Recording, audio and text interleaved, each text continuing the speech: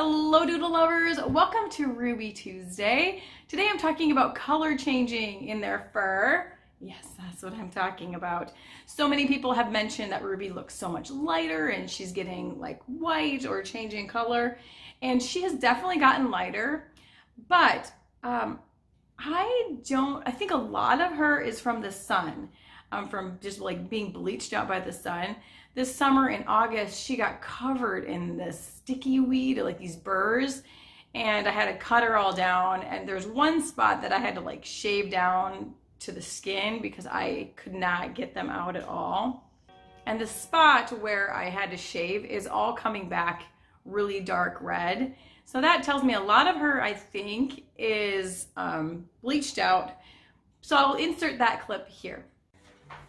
All right, so the lighting is better here. So you can see where it's coming in, the patch that was shaved down. It's, see the patch right here, how dark it is compared to the rest of her? So that tells me this is the new, new growth.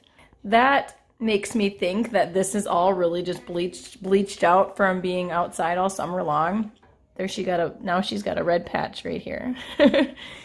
You're a funny girl. So I wanted to talk about color fading in general. So poodles, so Ruby is an F1 golden doodle. So she has, when F1s have one parent that is a golden retriever and one parent that is a poodle. In her case, her dad is a golden retriever, and really dark red. I'll insert pictures of mom and dad.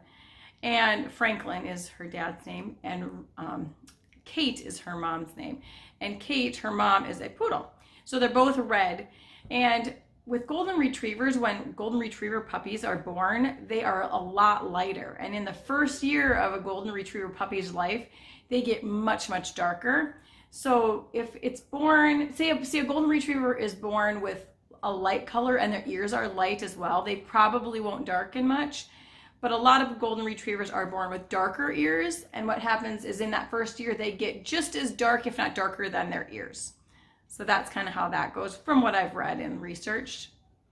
And with poodles, their color fades and changes over time as they grow. So by the time they're three years old, I think that's the case. I should look that up.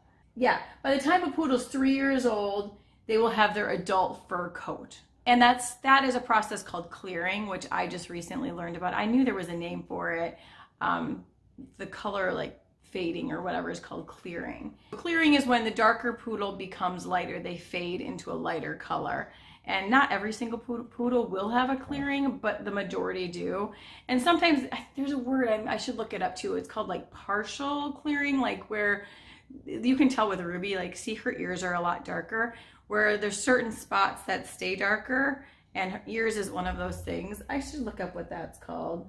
Okay, I found it. So it's possible for a poodle to hold, so poodles can hold color in certain areas while it gets lighter in others. This partial color holding especially happens in thicker areas like their ears and under like under her chin is like darker.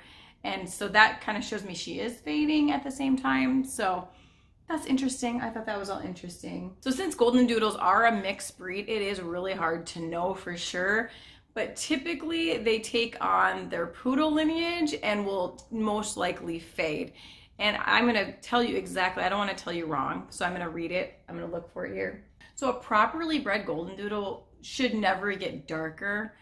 And I'm gonna tell you exactly why. I'm gonna look it up on my computer so I don't misinform anybody. A properly bred golden doodle will never get darker in color because the golden retriever genetics are recessive for fur because the whole point of the golden doodle is because you want it to be hypoallergenic from the poodle and have the personality traits of the golden retriever. So it's kind of tricky. There's a lot of, and then if you have like a double doodle and the labradoodle versus, they, there's so many combinations now so I'm pretty much talking about like what Ruby is, which is an F1. According to this website called loverdoodles.com, they said although it's unlikely that your golden doodle will darken, looking at how light or dark the golden retriever parent is can give you a good idea if your golden doodle will stay darker. If both parents are darker, your pup will most likely remain dark. So both of Ruby's mom and dad are dark. Um, if the golden retriever is a cream color and the poodle is dark, your golden doodle will most likely experience coat clearing and fade.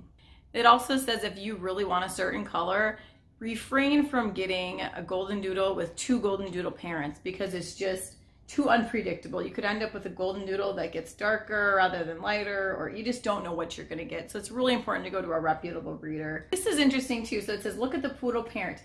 If going through a breeder and you're wanting a darker colored golden doodle, ask to see the poodle parent. You could even ask to see pictures of it as a puppy to get a better idea of how its fur has cleared over the years.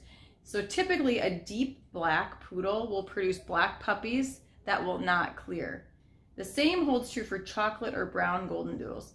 I don't know. I've I've seen a ton. I'm on a lot of golden doodle Facebook groups, but who knows what kind of breeders and what that parents actually were. You know, you just don't know what. There's so many um, different people out there that are selling golden doodles. You just got to be really careful. But I've seen so many black doodles that turn like white. They're turning like silver really early on, and I know that's upsetting to some people when you really wanted a black golden doodle. So you just that's why it's so important to get a reputable breeder. Uh, but this is really interesting, I thought. So hopefully you guys aren't bored out of your mind and thought that was interesting too. So many people brought up Ruby getting lighter. That's why I started researching it and looking into it. So that's how this video came to be. Regardless of their color, these dogs are so sweet and so dang smart. And they're just, they're goofy. I just, I love Golden Doodles obviously. I love them so much and I've loved them for so many years that I'm just so happy to have one.